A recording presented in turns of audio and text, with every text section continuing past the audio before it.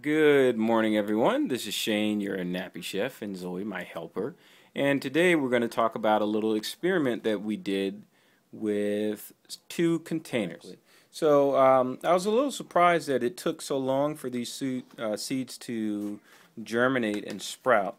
But as you can see, this one uh, is just a container that we uh, purchased that originally had like some salad in it or something like that and there there's no holes in the bottom, so it was excellent in keeping the moisture in.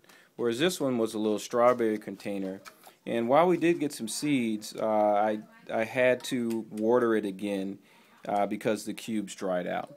So it's been about these seeds seedlings are about a month old. Uh, in a little bit, they'll actually be um, perfect to go ahead and trans transplant into the aquaponic system. So uh, right now, what I'm doing is just let letting them get a little larger underneath the 2500 um, oh, Kelvin. Uh oh. Whoop. the um, the 2500 Kelvin uh, light bulb that um, looks like this. So and um, just keeping it inside.